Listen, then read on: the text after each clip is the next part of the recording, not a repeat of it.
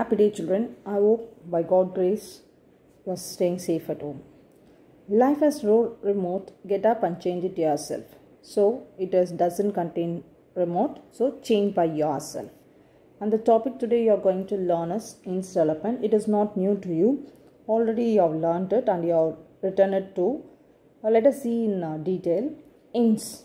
Hints will be given and you have to develop into a readable passage. Let us see about hints developing. Developing hints is developing the phrases into full sentences and not merely filling up dashes. Uh, I have seen in papers students used to fill the gaps with the that dash. They think that it is blank and they have to fill it with the words. Not like that. You have to read it till you understand the content content and then you have to develop it into a story. If it is a story, you have to go for past tense, or if it is happening, you can go for present tense. Let us see the tips. The points to note while developing hints of follows. Read the given outline carefully. You have to read the outline and understand. Understanding is grasping the content is very important. If the hints are in present tense, write the story in. Already I said you clearly, story means it is in past tense. You might have heard stories from your grandmother they used to say in past tense only. So in tamil they used to say iranda kalam is it clear children? Then be careful to connect as naturally as possible the various points given in the outline. So you have to be careful. You are not supposed to skip anything. And you have to go for two or three paragraph.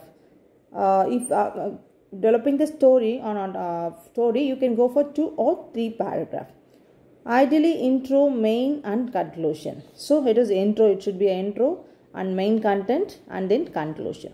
The conclusion is equally important. Is it clear with the conclusion also? The conclusion parts you should give importance. And if it is a story more more probably you will be getting stories only. So you give the moral of the story.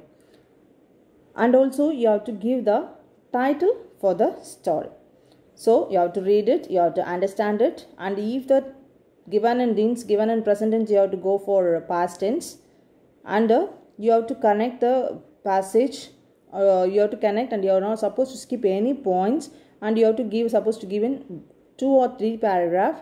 It should be intro, main, and then conclusion, and give a moral. So here you see an example: a bee falls into a tank, a dove flies past drops a large leaf into the water. The bee climbs on the leaf, flies away. A boy takes aim at the dove. The bee stings, the dove is said.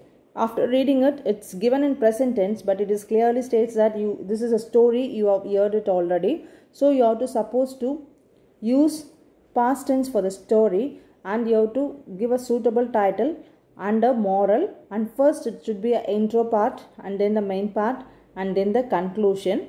So this one we are going to write it in a three paragraph. So I but by reading I hope you got the story. A bee falls into the tank and a, a, dove flies past. Is it a bee falls into the tank and the dove was flying there and he tried to help and in return bee also helped the dove. So once a bee went to a tank to quench its thirst. Thirst means you know thirsty, feeling thirsty. Quench means to satisfy. Unexpectedly, it fell into the tank. It almost drowned. You know, drown means you know what? A dove was passing that way. It saw the sinking bee. The dove desired to help the bee. It hurriedly flew to the nearby tree, plucked off a leaf and dropped it into the water before the bee. The bee moved on to the leaf, dried its wings and flew away. The bee was full of gratitude to the dove that it had saved its life. Is it clear?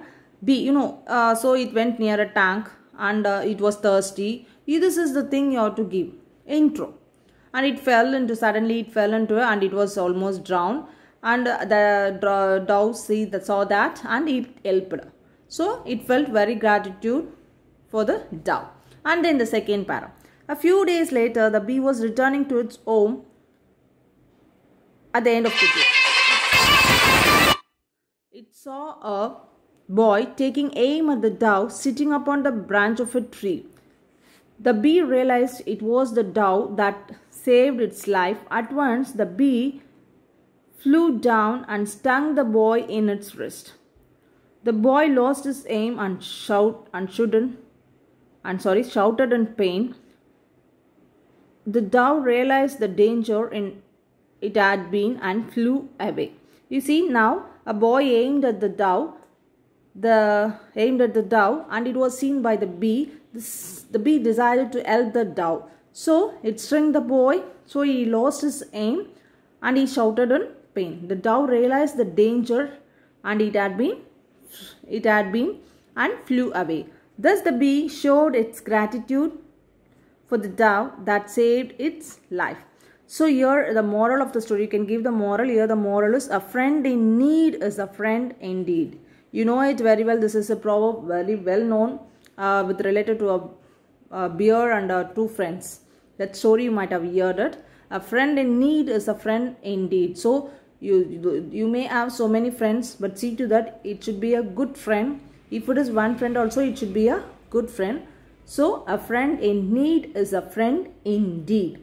So here the title is mutual help. You see the title has been given, the moral has been given and all the hints have been used and the story is written in past tense and it has been given as three paragraph. First one is intro and second one is what is the content and then main thing and then the conclusion. Conclusion is given. Now let us go for our routine part. Word of the day. I hope you are noting these words and try to refer your dictionary and uh, get some good words so that you can use while you're talking. And the today's word is amicable. Amicable means your friendly relation between people. So this is the thing we need between people as well as between countries. So Sunil and Vidya resolved their issue in an amicable manner. Amicable manner means without any fight. So thank you children. Uh, a PDF has been given. So write it in your composition notebook and uh, send your completed images to word of the day. I hope you are noting all these words in a notebook. You can use the old notebook children. Make use of it. Learn the meaning of the word too. Is it clear? I know you how to you know how to pass it. So take care of yourself. Stay home